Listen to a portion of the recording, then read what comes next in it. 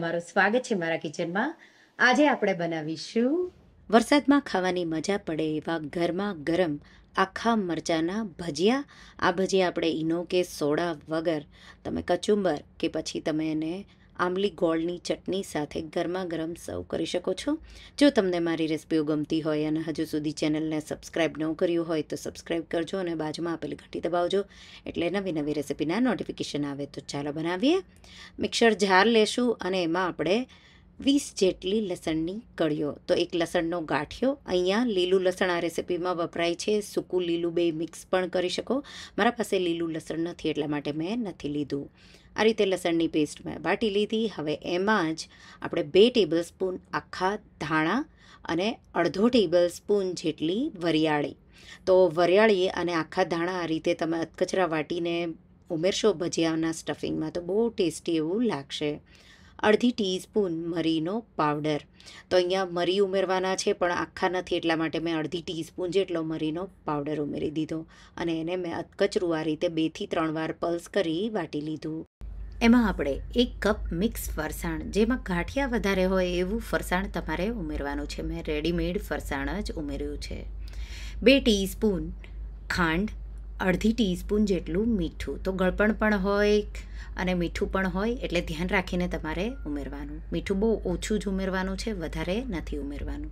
અને અધકચરું આ રીતે પાછું આપણે એને બે ત્રણ વાર પલ્સ કરી અને વાટી લઈશું.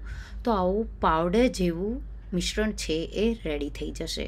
જેટલું તમારું ફરસાણ ટેસ્ટી એટલા જ તમારા ભરેલા મરચાંના ભજીયા ટેસ્ટી બનશે. આ રીતે અતકચરું વાટેલું ફરસાણ એક બાઉલમાં કાઢી લઈશું. એમાં એક ચોથાઈ કપ જેટલા લીલા ધાણા. તો લીલા ધાણાનું પ્રમાણ તમે તમારા હિસાબે વધારે પણ ઉમેરી શકો છો. એક નાના લીંબુનો રસ. તો અહીંયા આપણે ફરસાણમાં પણ થોડું ખટાશનું પ્રમાણ હોય છે, તો અડધોથી એક લીંબુનો રસ ઉમેરી અને એકદમ સારી રીતે મિક્સ કરી દઈશું. તો આ રીતે આપણું સ્ટફિંગ છે એ રેડી થઈ ગયું. હવે મેં અહીંયા પંદર મરચાં, ભાવનગરી જે મરચાં હોય, બહુ તીખા નથી હોતા, મોળી વેરાયટી હોય છે, એટલે સ્ટફિંગ તમારું જેટલું ટેસ્ટી તમે બનાવો, એવા ટેસ્ટી તમારા ભરેલા મરચાંના ભજીયા બનશે. મરચાંને આ રીતે વચ્ચેથી સ્લીટ કરીશું અને પછી સ્ક્રેપ કરી આ રીતે વચ્ચેથી એના નસો અને બિયા છે એ કાઢી લઈશું. તો આ રીતે સ્ટફ કરવા માટે જગ્યા થઈ જાય એટલે તમારે આ રીતે મરચાંનું જે બિયા અને નસો છે એ કાઢી લેવાની.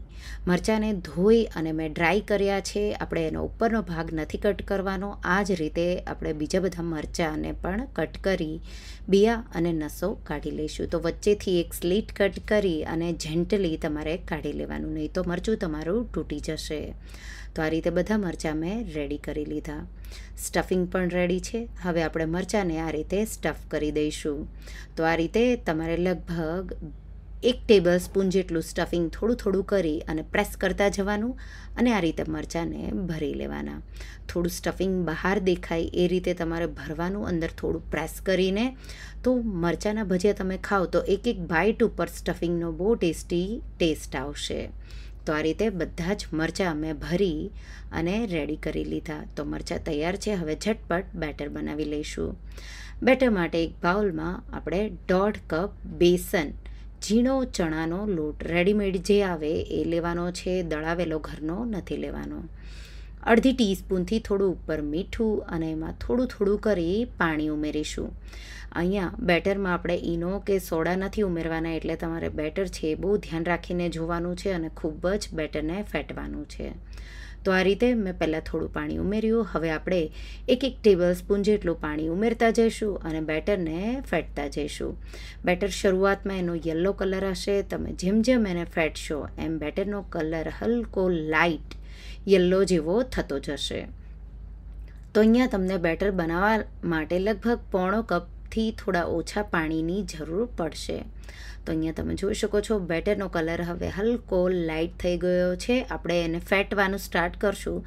ત્યારે થોડો ડાર્ક પીળો હોય, પણ જેમ જેમ તમે ફેટશો, એમ આ રીતે તમારું બેટર છે એ લાઇટ અને ફ્લફી, જેમ તમે ઈનો કે સોડા નાખ્યા હોય, એવું જ થઈ જશે.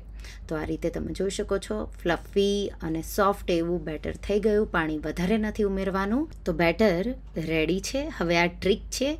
કોઈ ગ્લાસમાં તમારે બેટર છે એ સ્પેટ્યુલાના મદદથી એકદમ ક્લીન કરી બેટર છે એ ગ્લાસમાં ભરી દેવાનું. આ રીતે તમે ઇઝીલી ડીપ પણ થશે અને બેટર પણ બિલકુલ તમારું નહીં બગડે.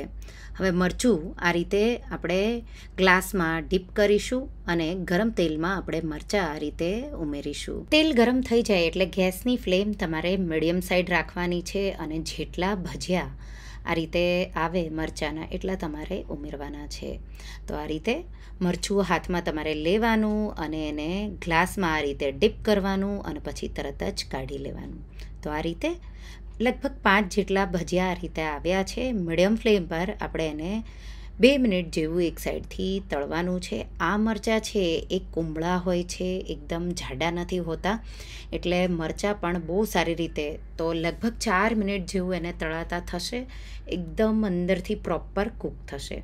મરચાંની વેરાયટી તમે જો અલગ લેવાના હોય, કડક એવા હોય, તો તમારે મરચાંને ભરી અને પછી તમારે એને સ્ટીમ કરવાના, પછી તમારે એને બેટરમાં ડીપ કરી અને પછી તમારે એને ફ્રાય કરવાના. આ મરચાંની વેરાયટી એકદમ કુંબળી છે, એટલા માટે મેં સ્ટેપ સ્કીપ કર્યો છે. તો આ રીતે તમે જોઈ શકો છો. ચાર મિનિટ જેવું લાગ્યું, બે મિનિટ જેવું એક સાઈડ પછી ફ્લિપ કરી. બે મિનિટ જેવું તળી અને મેં એને કાઢી લીધું. એ જ રીતે આપણે મરચાં છે એ બેટરમાં કોટ કરી અને આ રીતે ગરમ તેલમાં ઉમેરી દઈશું. આ ભજીયા બહુ ટેસ્ટી એવા અને અહીંયા એનું લેયર તમે આ રીતે ફેટી અને બેટર એનું બનાવશો એટલે એકદમ એનું જે લેયર છે ઉપરનું થીક અને સોફ્ટ એવું થશે. જેમ તમે બેકિંગ સોડા ઉમેરી અને ઉપરનું લેયર બનાવો એવું જ બનશે અને ગેસની flame medium to high side કરી અને તમારે એકદમ સારી રીતે હલકો લાઇટ ગોલ્ડન એવો કલર આવે ત્યાં સુધી તમારે એને તળી લેવાના છે. તો આ રીતે તમે જોઈ શકો છો પરફેક્ટ એવા તળાઈને રેડી થઈ ગયા અને ભજીયાને આપણે કિચન પેપર પર કાઢી લઈશું અને ગરમા ગરમ આપણે એને સર્વ કરીશું. આ રીતે જો તમે ક્યારેય મરચાંના ભજીયા, આવા મિક્સ ફરસાણવાળા સ્ટફિંગવાળા નો ટ્રાય કર્યા હોય તો એકવાર ટ્રાય કરજો. બહુ ટેસ્ટી એવા બનશે, લીલું લસણ હશે તો બેસ્ટ એવા બનશે. તો એકવાર બહુ ટેસ્ટી એવા, ઉપરથી ક્રિસ્પી એવા આખા મરચાંના ભજીયાની રેસિપી તમે ટ્રાય કરજો. વચ્ચેથી આ રીતે તમે કટ કરશો એટલે સ્ટફિંગ છે એકદમ પરફેક્ટ એવું દેખાશે. આ રીતે તમે બેકિંગ સોડા કે ઇનો વાપર્યા વગર પણ એકદમ બહાર મળતા હોય એવા ભજીયા ઘરે જ એકવાર તમે ટ્રાય કરજો. ગરમા ગરમ એને હું ટમાટો કેચઅપ સાથે સર્વ કરી રહી છું. તો રેસીપી તમે જરૂરથી ટ્રાય કરજો. તો તમને આ રેસીપી કેવી લાગી મને કમેન્ટમાં જરૂરથી જણાવજો. અને જો રેસીપી ગમી હોય તો વિડીયોને લાઇક કરજો, શેર કરજો અને મારા ચેનલને સબસ્ક્રાઈબ કરજો. અને આવી જે નવી રેસીપીઓ માટે તમે બેલાઇકન બટનને પ્રેસ કરજો. Thank you for watching